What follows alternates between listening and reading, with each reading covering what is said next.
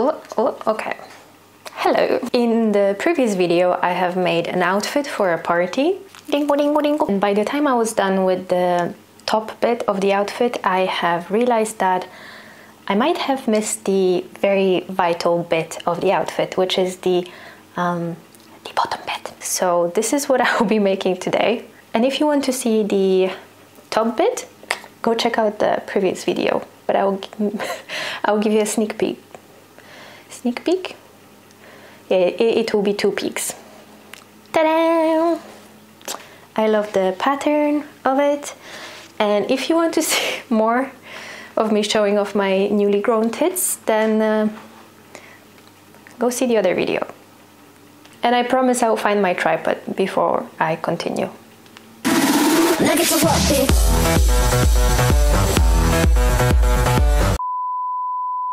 For all the curious cats out there, I'll put the picture of the pattern that I used to make these pants.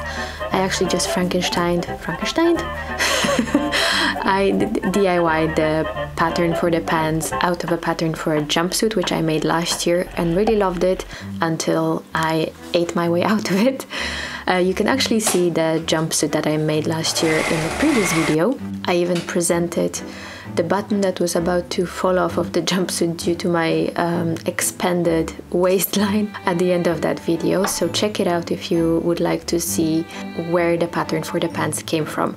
The only thing that had to be modified was the front of the pattern because initially the, the pants were made for a jumpsuit that has the front closure with, uh, with buttons I chose to go for this particular zipper installation and the zipper because I was determined not to leave my house just to buy supplies for making this, this project. I used anything and everything that I found around my sewing studio, including the fabric. I actually purchased this fabric online and that was the last time I purchased fabric online because I ordered it thinking that it's going to be like this pretty peachy dusty pink color but it came like neon bubble bubblegum pink I'm not saying it's bad, it's just not what I wanted.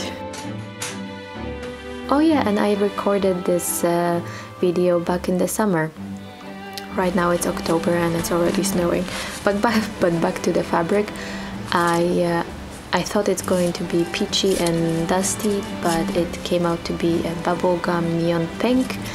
So I usually just use it for mock-ups, but this time I was like, you know what, it will make perfect strawberry milkshake pants and went for it.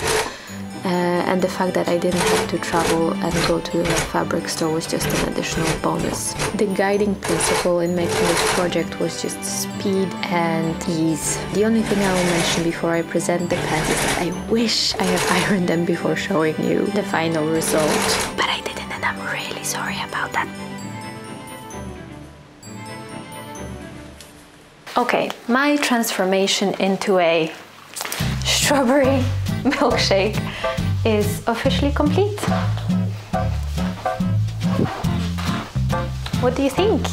Okay, it wouldn't be a sewing project if I didn't have an embarrassing story to tell you about it. I'm not gonna lie, I have actually finished the pants about a week before the party and um, I realized I need some minor adjustment and I have pinned the places where the pants had to be adjusted completely forgotten about it until the day of the party where I have hastily and energetically put the pants on in the enthusiasm and anticipation for the upcoming party and I have um, pricked myself in a very delicate place with all the pins that were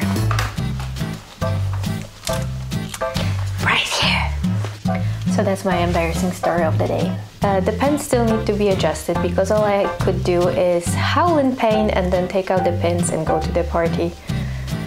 Uh, but anyway, if, uh, if, I love my accent, if if you have any funny slash embarrassing slash miserable stories from your sewing adventures, I would really appreciate hearing them in the comments um, and hopefully they would make me feel less alone, clumsy, and miserable. Oh, look at my nails.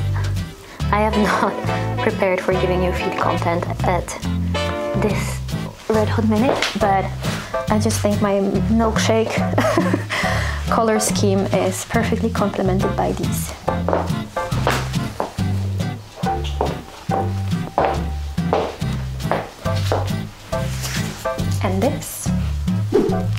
outfits.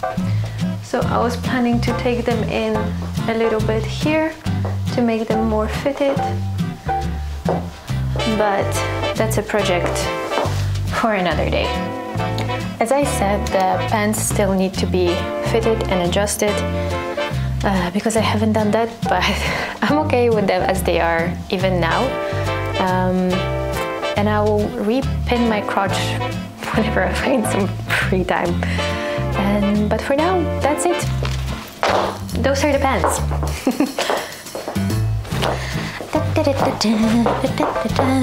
I cannot dance. What am I? Who am I kidding? Those are the pants. Very easy project. The only thing I need to also done except for do except for the crotch is take them in a little bit because they do ride up, which then prevents the peplum from pepluming properly, which is a bit annoying, but oh, I'm squatting so hard. but other than that, it's okay.